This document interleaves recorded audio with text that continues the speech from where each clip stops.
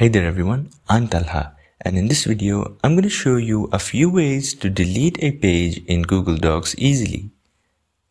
Now, some of you may face a situation where you have a file and you've added some text into that file but unfortunately one or two paragraphs of that text have been split into another page. Now what if you want to display all of that text in a single page, but you can't. In that case, what you can do is first try the most obvious option, which is to select all the text right here and then go to this icon right here, line and paragraph spacing, and then click on single. If this works for you, that means you have successfully deleted the second page and all of the text has now been displayed into the one page right here. But in this case, the text was too long and some of it is still in the other page. Now, let's look at the other way to do this. Another way is by heading over to File, going to Page Setup, and then changing the margins from right here.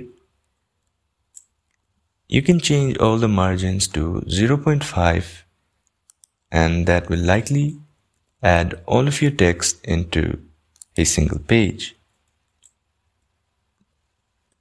Change the top, bottom, left and right margins to 0.5 then click OK.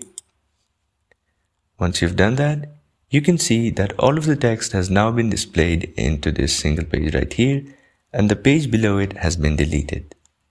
And these are some of the ways you can use to easily remove text and add it into a single page in Google Docs. On a side note, there's one more thing that you should keep in mind, which is a table. As you can see here, there's a table on this page that I have missed. Now, sometimes in the table properties, you'll notice that the table has been changed into a white color, so therefore it is not visible in the doc. In that case, you may try deleting the text and you'll see that the page isn't going away. The best way to tackle this is by highlighting the entire page and you'll see that the table has been selected.